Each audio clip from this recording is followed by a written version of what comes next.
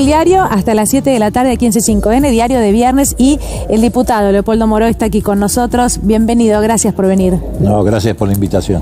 Ha pasado tanto esta semana, hoy es viernes, pero desde el lunes, que la verdad hubo toda una sucesión de hechos que en la oposición, y que evidentemente han tenido que ver con el resultado electoral del domingo, que, que ¿cómo calificaría Moró? ¿Cómo, ¿Cómo lo describiría? ¿Qué es lo que ha pasado en la oposición? Mira, si uno tiene que calificar la escena, es patético. Pero yo creo que no hay que quedarse solo en esa interpretación. Yo, decíamos fuera de, de cámara, yo siempre odié la autorreferencia. O sea, aquellos que hablan con el diario del lunes.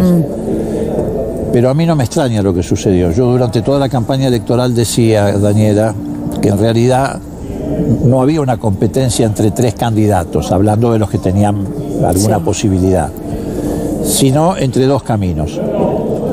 Eh, todos reconocemos la existencia de una crisis, diferimos en cuál fue el origen de la crisis. Nosotros creemos que el origen de la crisis que estamos atravesando es fundamentalmente el endeudamiento criminal al que nos sometió el macrismo, que nos transformó en el país más endeudado del planeta.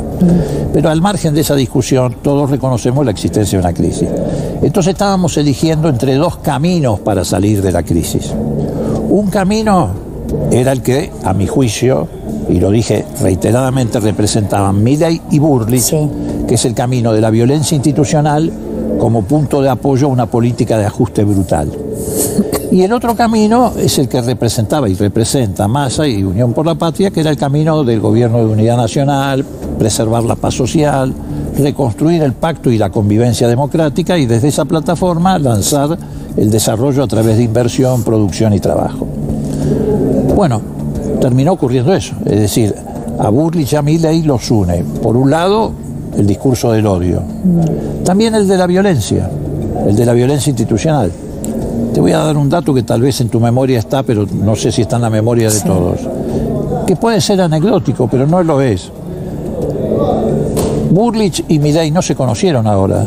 Los, pre- los presentó en un acto en Plaza de Mayo uno de los cabecillas de Revolución Federal, ¿Ah, sí? Carroll, Sí, ah, sí, ¿Te acordás Hernán Carroll? Carroll, sí. Bueno. Sí, claro. que han tenido un papel Que aparentemente iba a ser el abogado de Sabac Montiel, que después de se uno de los que intentó asesinar a Cristina. Claro. Bueno, hay una escena que ustedes la tienen en el archivo, la he visto acá en infinidad de oportunidades, donde Carroll en Plaza de Mayo, Mm. Que fue con un grupo de Patovica, porque él encabezaba un grupo de esa característica, presenta a Burlich y a, Sí. y a como los futuros líderes. Es una anécdota, pero no tanto, porque también los une eso, la violencia. Entonces a mí no me extrañó que ocurriera lo que ocurrió. Creo que también hay otros factores que llevaron a esa situación.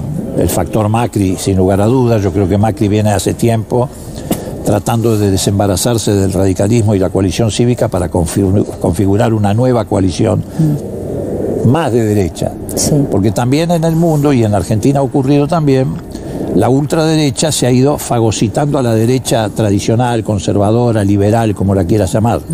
Ha ocurrido en otros países del mundo y ocurrió acá. Acá ocurrió primero en la interna de Juntos por el Cambio, donde precisamente Burlich se fagocitó a Rodríguez Larreta. Y ahora Milei se fagocitó a Burlich.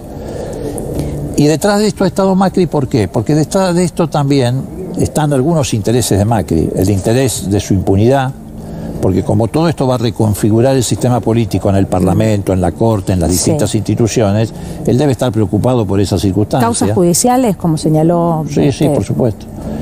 Eh, y también los negocios, porque detrás de Midei eh, no está el círculo rojo local en materia económica, estaban detrás de Burlich. Pero sí están los grandes fondos de inversión que conocemos como fondos buitres, Sí. BlackRock, Templeton, que los hizo desembarcar Macri en una primera etapa del endeudamiento en Argentina.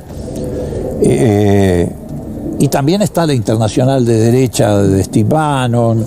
Y Macri está vinculado a esos sectores, a esos sectores que jugaron un papel relevante en el endeudamiento en la primera etapa de la Argentina, hasta que después para irse pidieron el auxilio del Fondo Monetario Internacional para que trajera los dólares y se los diera para que se fueran con esos dólares. Entonces todos esos factores yo creo que han confluido para que tomaran esta decisión. ¿Ya estaba planeado, cree, esto? Bueno, en la cabeza de Macri Como sin lugar a dudas, porque todos, a ver, todos nos dimos cuenta de que Macri jugaba en las dos orillas a la vez, Mm. o en las dos canchas a la vez. No solamente vos, yo, o quienes están siguiendo el día a día de la política, ya lo percibía mucha gente, ciudadanos de a pie. Y además dentro del, del propio Junto por en Cambio ya se notaba esa... Se notó mucho el día precisamente en que Burrich le gana la elección interna a la red, a la PASO. Eh, esa misma noche se notó este, que Macri estaba jugando a un acuerdo con Milei. Y así me parece que se va transitando hacia una nueva configuración en el Parlamento, de un bloque de ultraderecha, por decirlo de alguna Sí. manera. Pero bueno, ahora lo inmediato que tenemos por delante es el 19 de noviembre. ¿Usted cree que de cara a eso los radicales tendrían que expresar, más allá de que los votos no tienen dueño y que cada cual va a votar a quien sea, pero que tendrían que manifestar concretamente, eh, bueno, qué opción prefieren para la Argentina que se viene? Porque la verdad es que las dos son bien distintas. Y una de las dos tiene poco que ver con la democracia y el radicalismo, ¿no? Sí, eh, haces bien en diferenciar. El voto es, tie- la gente lo ejercita con libre albedrío. Sí. No tenés por qué No hay darle- forma de manejar eso. No, no, y además tampoco tenés por qué darle libertad de acción porque el, el voto siempre tiene Claro. libertad de acción. Sí. Pero la responsabilidad de los dirigentes es distinta. El dirigente tiene que tener la valentía de definir posiciones frente a situaciones dilemáticas como estas. Sí. Si estás enfrentado a decidir entre la democracia y el fascismo, digo, eh, claramente no hay mucho para pensarlo. Y estamos en una coyuntura de ese tipo, porque efectivamente mi ley, lo que representa mi ley, pone en riesgo a la democracia. Eh, entonces, yo no tengo duda de cuál va a ser el comportamiento del ciudadano común que tiene incorporados valores comunes con el radicalismo. No tengo duda. Yo creo que masivamente van a votar a masa. Y creo que los dirigentes sí, por responsabilidad, porque ¿qué- un dirigente cuando se revela como tal, cuando tiene capacidad anticipatoria, como la tuvo precisamente Alfonsino, Cristina Kirchner, y cuando no especula, ese es un dirigente. Y frente a una disyuntiva de este tipo, sí yo creo que los dirigentes no le deben decir a la gente qué deben votar, pero sí deben decir qué piensan ellos Claro. cómo se paran ellos en esta coyuntura. Y obviamente si tenés que elegir entre democracia o fascismo, entre paz social o violencia, bueno, no hay duda de que deberían tener una definición contundente. Es que no los tiene por qué comprometer con un futuro gobierno de masa. No necesariamente, aunque yo personalmente creo que es deseable que participen en un gobierno de unidad nacional. Porque volviendo a esto de los dos caminos, Sí. se probó el camino de la violencia institucional y el ajuste. Fue el camino que transitó la dictadura con Martínez de Oz y Videla. Dicho sea de paso, vos cerrás los ojos, eso me pasa a mí, no a los chicos jóvenes, Sí. pero los de mi generación cerramos los ojos, lo escuchamos a Milei, estamos escuchando a Martínez de Oz, la escuchamos a su candidata a vicepresidente, estamos escuchando a Videla. Sí, claro. Pero el otro camino también se probó, el del acuerdo, el de la unidad nacional. Se probó precisamente con la dictadura cuando hubo que empujarla y desalojarla con la multipartidaria.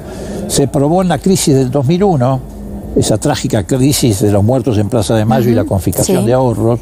También se probó el camino de la unidad nacional que nos sacó de la crisis. La democracia estuvo en riesgo, hubo cinco presidentes en una semana pero nos sacó además de la crisis de la convertibilidad y nos sacó ordenadamente, empezó a, pre- cre- a crecer el país. Y se probó con Néstor y Cristina cuando llamaron a la concertación y siete gobernadores radicales se unieron a la concertación. Tuvo el traspié de Cobos en la vicepresidencia con los 125, pero eso sirvió para darle volumen a un gobierno que con ese volumen protagonizó la mejor etapa en materia de distribución de ingresos, generación de empleo, salario mínimo de 540 dólares, saber mínimo de jubilado de 400, 235 mil pequeñas y medianas empresas, satélites, universidades. Le dio ese volumen. Por eso yo creo que a pesar de que ya hemos ganado el 22, es muy importante el resultado del 19. Me refiero al del 19 de noviembre. Porque creo que esa mayoría que ha optado por el camino de la unidad nacional, la paz social y el pacto democrático, se tiene que ensanchar y mucho porque necesitamos que el futuro gobierno arranque como si fuera un auto con el tanque lleno. Sí. Y necesitamos para eso también un gobierno de unidad nacional. Pongo- Por eso no solo necesitamos los votos de los radicales. El radical, el Sí. 19 va a ir a la urna y en homenaje a Alfonsín va a votar seguramente por masa. ¿Y de quién más? ¿Eh? ¿De quién más? nosotros necesitamos el apoyo de los partidos. Necesitamos realmente un gobierno de la unidad izquierda, nacional. por ejemplo. Pero de también. todos los partidos que estén dispuestos a, a co- a cogobernar para enfrentar al Fondo Monetario Internacional y decirle que en esas condiciones no podemos pagar, que tiene que desaparecer la sobretasa que son 11 mil millones de dólares más de lo que deberíamos pagar, para garantizarnos que el litio, el gas, etcétera, este, tenga valor agregado y podamos transformarlo en el nuevo motor del desarrollo para que nuestro motor no sea solamente la producción agropecuaria. Para eso necesitamos un gobierno de unidad nacional, además de que necesitar los votos el 19. Eh, a esta altura ya podríamos asegurar que esa suposición de que Milei es Macri ya no es una suposición, Obvio. ¿no? Está clara. Eh, ahora le voy a preguntar por Macri, porque habló en la mañana de hoy, dio una gran cantidad de definiciones eh, que van a tener mucha repercusión. ¿Lo vio anoche a Milei en televisión? Lo vi. No, no, no soy de los que está prendido a televisión Sí. todo el día, pero ayer lo vi Pero de lo vio. casualidad, pero lo vi. ¿Y qué le pareció lo que vio? Me refiero para los que no hayan visto ese fragmento, un momento en que él se altera bastante porque hay un ruido, bullicio o algo fuera de este, fuera de cámara, Sí, pero no. además también vuelve a las más metáforas. Cállense todos, ¿no? No, bueno, pero lo iba a relacionar con esto, un hombre que ha tenido una vida en política, que algunas cosas habrán salido mejor, otras peor, otras este, no habrá logrado sus objetivos, pero eh, pero bueno, esto parece que es otro, uy, que es un límite el que se está pasando, ¿o no?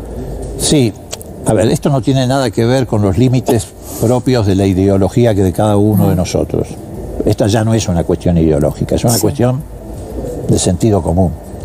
Si vos tenés un candidato a presidente que no puede controlar sus propias emociones, que bajo presión reacciona de esa manera, como reacciona él, en muchos casos peor de lo que reaccionó ayer, porque reacciona con insultos, llama a los opositores excrementos, ratas, etcétera.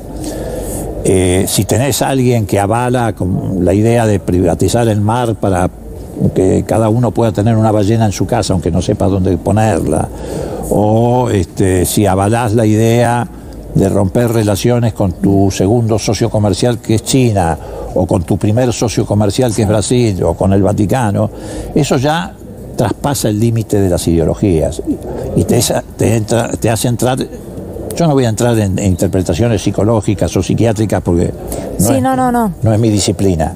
Pero lo que te quiero decir es que ya te hace entrar en el plano del dislate. Bueno, esto de venderla, de comprar ballenas, Bueno, Leopoldo. eso, pero- pero- sí, eso hasta te diría tiene un costado gracioso o ridículo. Mm. Hay cosas que son peores, como por ejemplo, bueno, proponer la venta de órganos, porque es cierto que en algunos países de América Latina Sí, ya no es gracioso, ¿no? ya no es gracioso cosa, porque sí. además han aparecido bandas que en vez de llevarte el celular se llevan a una persona para después comercializar los órganos. Eso ya es un disparate mayor. Disparate. Entonces digo, estamos en un plano donde, por un lado tenés una cuestión ideológica, representa una mirada autoritaria que pretende, no, que ya no solo negacionista respecto al pasado, sino que hace apología de lo que sucedió, como es el caso de Villarruel. Por eso te decía que cerrar los ojos y estás escuchando a Macera o a Videla, sino que además también tenés el problema de la inestabilidad emocional, que también tiene una impor- importancia en la vida política. El país necesita, sobre todo en un momento difícil como este, necesita ser un país normal, con un presidente normal. Que tenga paciencia, ¿no? De mínima. Pero claro, y que, tenga, paciencia, temple. Claro. Y este hombre no tiene temple, no, no, no soporta la presión, porque yo creo que no se soporta a sí mismo. Entonces me parece que es una situación, pero te reitero, no la quiero llevar exclusivamente a ese terreno, porque para mí la cuestión es Sí. de naturaleza esencialmente política. Bueno, eh, por último, hoy Mauricio Macri habló de varias cuestiones. Dijo que su propia hija eh, le dijo que tiene que votar a mi ley. No me quiero olvidar. A ver, también en este lo político de la personalidad. La personalidad de Macri, no tengo duda, es una personalidad perversa. No tengo ninguna duda. Eh, lo ha demostrado en su vida como empresario y lo ha demostrado en su vida como, como político, como dirigente político tanta, tanta perversidad que ni siquiera ha tenido la grandeza de tratar de preservar su fuerza política, como, como si la tuvo Cristina, que sí tuvo persecución y tiene persecución, que ha sido proscripta y a pesar de eso siempre aportó a la construcción política. Lo hizo en el 2017, lo hizo en el 2019 y lo volvió a hacer ahora.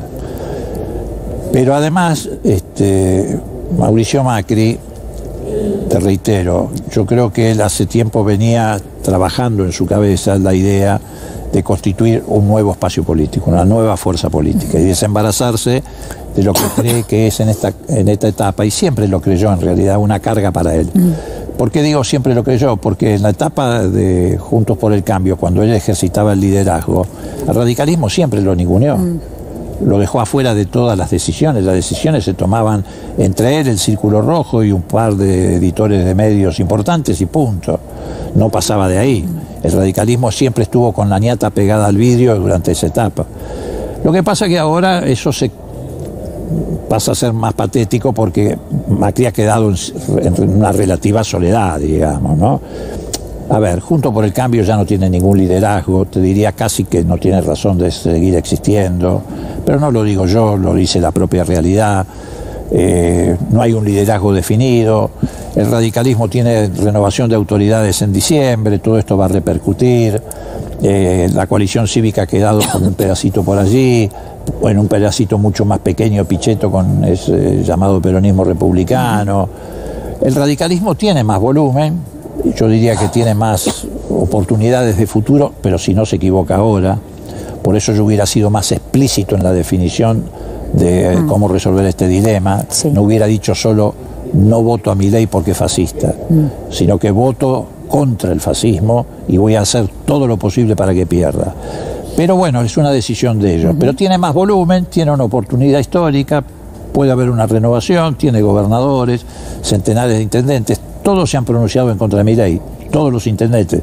Bueno, hace un rato el presidente del Foro de Intendentes Radicales de la provincia de Buenos Aires, que había integrado la fórmula con Grindetti y candidato a vicegobernador, se expresó claramente contra mi ley. Eso es masivo en el radicalismo. Bueno, habrá que ver qué pasa en los próximos días si eh, hay expresiones concretas en favor de Sergio Massa, es la gran pregunta. Todavía falta, pero quiero agradecerle por haber venido. No, al contrario, gracias a vos por la invitación. Gracias por estar acá en el diario. Bueno, nos vamos